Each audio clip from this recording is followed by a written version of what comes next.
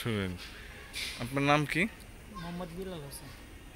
গ্রামের বাড়ি কোথায়? মানিকগঞ্জ। মানিকগঞ্জ শিবালয় শিবালয় কোথায়? জমদিয়ারা গ্রামের নাম জমদিয়ারা জমদিরা?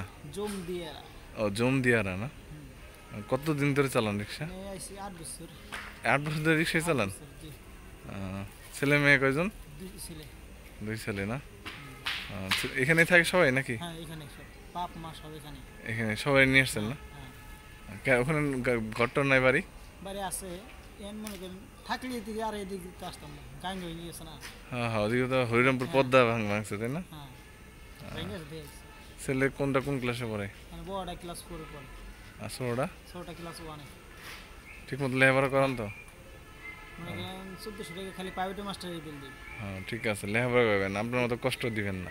না আমার মনে করেন আমার বাচ্চার মায়ের মনে করেন গার্মেন্টসে কিন্তু আমরা যদি আজকে দুজন যদি কষ্ট করি তাহলে সে পুরান মানুষ করবে আর যদি আমি একলা কষ্ট করি ওইটি থাকব বসে তাহলে পুরান মানুষ করব তা পারব মা থাকলে মাই পারে। হ্যাঁ হ্যাঁ। আপনার মা আছে। এর জন্য আপনি পারতেছেন। হ্যাঁ কিন্তু আপনার ইয়েও নাই বউ এখানে নাই চাকরি করে। আবার যদি ইয়েও করে আপনার যদি বাড়ি কেউ না থাকে দুই পোলা ঘরে একলা থাকে তাহলে আবার মানুষ হব না। কারণ তো বাপ মা থাকে মানুষ তারা দেখা দেখা থাকে। তাই না? হ্যাঁ। বাপ মার খেদমত তাহলে করেন ঠিক মতো। আপনার কয় ভাই বোন? বোন। বিয়ে গেছে নাকি? কোন জায়গায় এটা? গ্রামে চেয়ারম্যান তাই? সাথে। তাই না?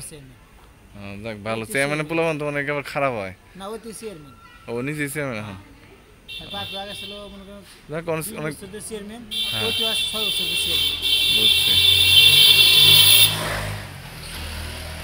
ঠিক আছে তাহলে করেন সুসাইড গেটে আমার বাসা। বাসার নম্বর সাত ষোলো।